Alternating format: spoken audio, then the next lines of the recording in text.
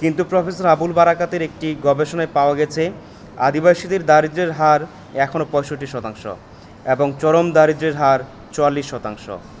আদিবাসীরা প্রান্তিকতা থেকে আরও প্রান্তিক হচ্ছে। এমন অবস্থায় আমরা কি করে বলতে পারি আদিবাসীদের অবস্থা এখন অগ্রসর হয়েছে? সাংবাদিক বন্ধুগণ, বাংলাদেশের সমতল পার্বত্য অঞ্চলে প্রায় পঞ্চাশটি জাতিগোষ্ঠীর তিরিশ লাখের অধিক আদিবাসী জনগণ বসবাস করছে। ঐতিহাসিকভাবে এ জাতিগোষ্ঠীর লোকেরা বিভিন্ন বঞ্চনা শোষণের শিকার। প্রান্তিক অঞ্চলে বসবাসের কারণে তারা শিক্ষার সুবিধা থেকে বঞ্চিত। পার্বত্য অঞ্চলে আদিবাসী পাড়া বা ঘরবাড়ি থেকে তাদের স্কুলগুলো দূরবর্তী জায়গায় অবস্থিত। সেখানে ভালো স্কুল প্রতিষ্ঠান না থাকা এবং পর্যাপ্ত যোগ্য শিক্ষকের অভাবে এসব প্রতিষ্ঠানের আদিবাসী শিক্ষার্থীরা গুণগত শিক্ষা ও ভালো ফলাফল অর্জন করতে পারে না। আবার আদিবাসীরা ভিন্ন ভিন্ন মাতৃভাষা সংস্কৃতি চর্চা করার ফলে বাংলা মাধ্যমে পড়াশোনা করে ভালো ফলাফল অর্জন করা তাদের পক্ষে দুরূহ হয়ে পড়ে। এর ফলে আদিবাসী শিক্ষার্থীদের মাঝে ঝরে পড়ার হারও বেশি।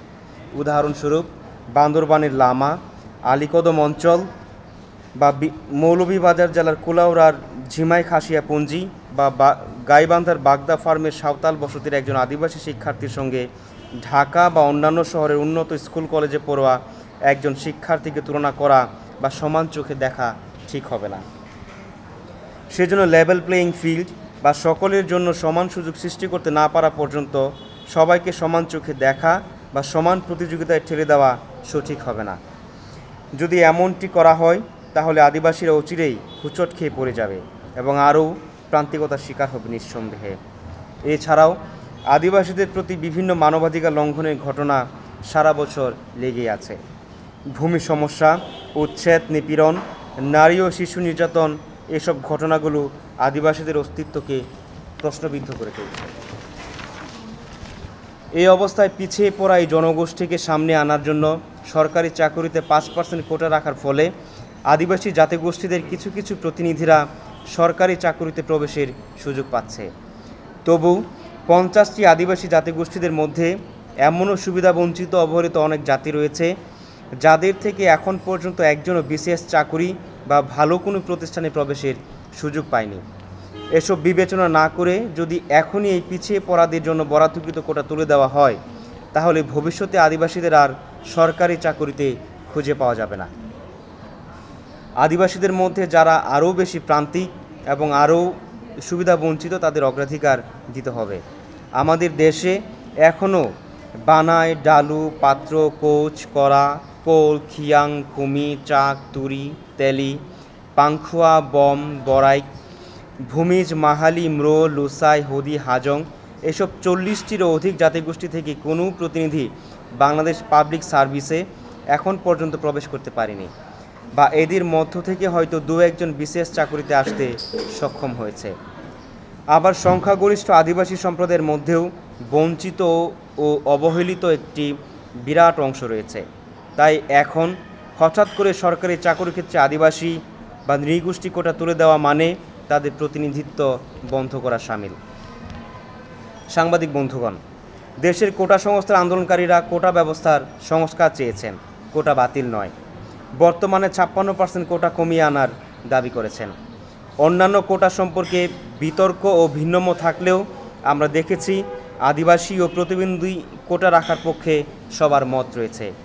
স্বয়ং মাননীয় প্রধানমন্ত্রী সহ কৃষিমন্ত্রী বেগম মতিয়া চৌধুরী ও সমাজ কল্যাণ মন্ত্রী রাশেদ খান মেনন সহ দেশের বুদ্ধিজীবী ও সুশীল সমাজ এই অনগ্রসর অংশের জন্য ব্যবস্থা রাখার কথা বলেছেন।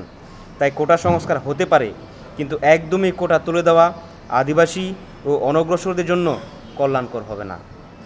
তাই আমাদের দাবি হচ্ছে, সরকারি চাকুরিতে প্রথম ও দ্বিতীয় শ্রেণি সহ সকল শ্রেণীতে আদিবাসীদের জন্য বরাদ্দকৃত পাঁচ পার্সেন্ট কোটা বহাল রাখতে হবে। কোটা পর্যালোচনা কমিটির সুপারিশের প্রতিবাদে এবং সরকারি চাকুরিতে প্রথম ও দ্বিতীয় শ্রেণি সহ সকল শ্রেণীতে আদিবাসীদের জন্য বরাদ্দকৃত পাঁচ পার্সেন্ট কোটা বহালের দাবিতে আমাদের কর্মসূচিগুলো ঘোষণা করছে। আগামী ছাব্বিশ সেপ্টেম্বর দু হাজার আঠারো খ্রিস্টাব্দ বিকাল চারটায় মুখে কালো কাপড় বেঁধে প্রতিবাদী অবস্থান রাজু ভাস্কর্যের সামনে। উনত্রিশ সেপ্টেম্বর দু হাজার আঠারো খ্রিস্টাব্দ বিকাল চারটায় ছাত্র সমাবেশ, রাজু ভাস্কর্যের সামনে, এবং ত্রিশ সেপ্টেম্বর দু হাজার আঠারো খ্রিস্টাব্দ, অপরাজয় বাংলার পাদদেশ থেকে আদিবাসী সিনিয়র নেতৃবৃন্দ, শিক্ষক বুদ্ধিজীবী সহ সচিবালয়ের অভিমুখে পদযাত্রা। আমরা আবারও জোর দাবি জানাচ্ছি, আদিবাসী প্রতিবন্ধী মানুষের জন্য অবশ্যই কোটা বরাদ্দ রাখতে হবে। আপনাদের সবাইকে অসংখ্য ধন্যবাদ।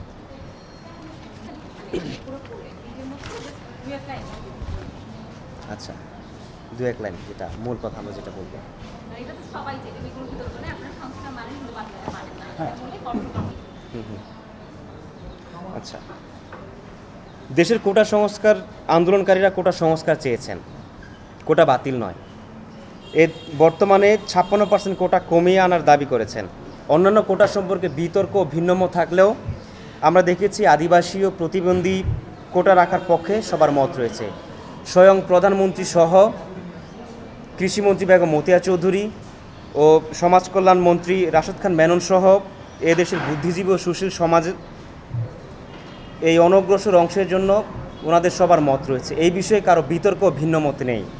তাই আমাদের দাবি হচ্ছে, কোটা সংস্কার হতে পারে, কিন্তু আদিবাসীদের জন্য বরাদ্দকৃত পাঁচ পার্সেন্ট কোটা অবশ্যই বহাল রাখতে হবে।